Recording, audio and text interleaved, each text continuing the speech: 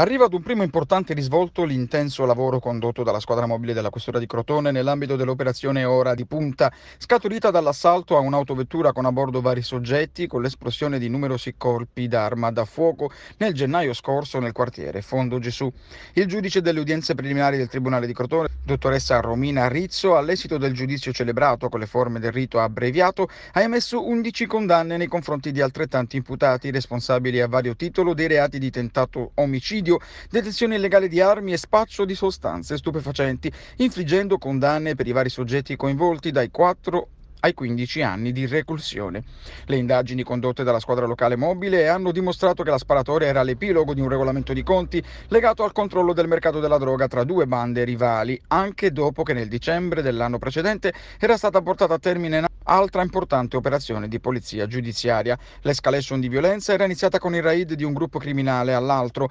cui era poi seguito l'atto vendicativo la mattina del 9 gennaio 2019 con la sparatoria contro l'autovettura sulla quale si trovavano i rivali nel quartiere Fondo Gesù, nei pressi di una nota autostazione cittadina che, vista l'ora in cui si è verificato l'agguato, era gremita di pendolari e studenti.